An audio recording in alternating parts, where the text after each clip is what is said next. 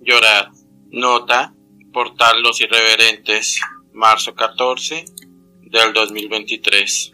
Echando mano de su tono alevoso y desafiante, la malhadada vicepresidente de Colombia aseguró que, gústele a quien le guste o moléstele a quien le moleste, ella seguirá utilizando helicópteros de la fuerza pública para sus desplazamientos personales. En reportaje con una revista colombiana, la Márquez desempolvó su pasado como empleada doméstica para defender el abuso que está haciendo de los bienes del Estado en provecho propio. Fustigó a sus críticos señalándolos de considerar que no es normal que una mujer que trabajó en una casa de familia y que ahora es la vicepresidente de Colombia se transporte en eso, en un helicóptero. Pues de malas, soy la vicepresidente de este país y mientras sea la vicepresidente de este país, el Estado tiene la responsabilidad de brindarme todas las garantías de seguridad para yo cumplir con mi tarea como vicepresidente. Pueden llorar, pueden gritar, pueden hacer todo lo que quieran, me pueden ir a demandar si quieren.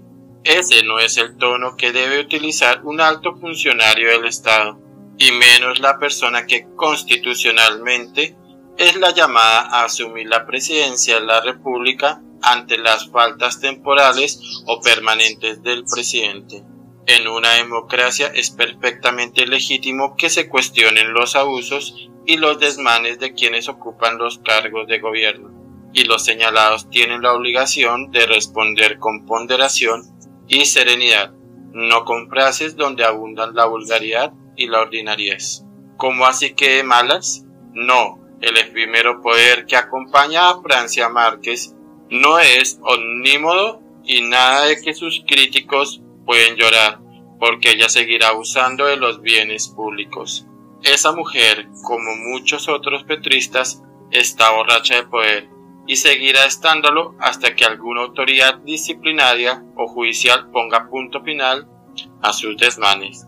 Por los ella llamados helicópteros son bienes públicos que deben ser utilizados con delicadeza y consideración.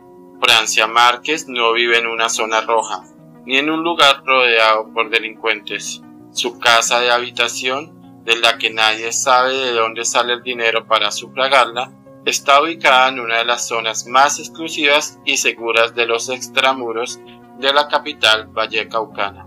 Si efectivamente fuera peligroso que ella habitara en ese lugar, por prudencia debería mudarse a un sitio donde su integridad no corra riesgo ninguno.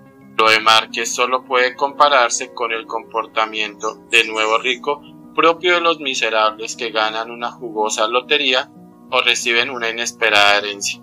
La diferencia es que los nuevos ricos hacen locuras con sus propios recursos y la vicepresidente las está haciendo con cargo al erario.